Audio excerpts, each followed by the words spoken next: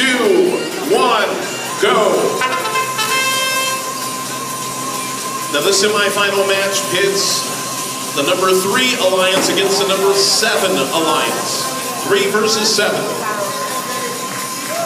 autonomous period coming to a close with each alliance able to score. Referees will climb into the field now to take a quick look around.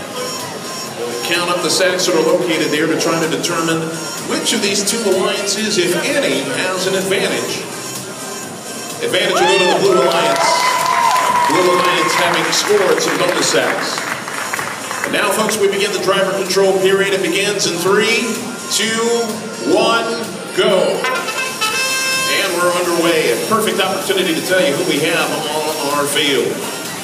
For the Red Alliance, That'll be Alliance number seven, 8227 Bravo.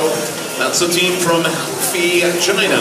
Their alliance partner is T-Vex. They're 90 and 90C as in Charlie. For the Blue Alliance, that will be Alliance 3.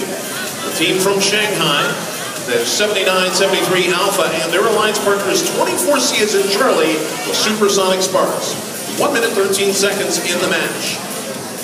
Red Alliance has several sacks that are scored in their high goal. Blue Alliance working to fill up one of their troughs. Now a defensive battle, far side of the field.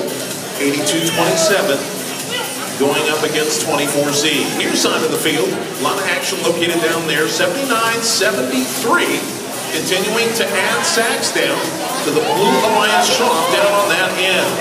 Now 24C goes to reach in and grab some of the sacks from the Red Alliance out of their near side trough, looking for a place to put them. 35 seconds remaining in the match.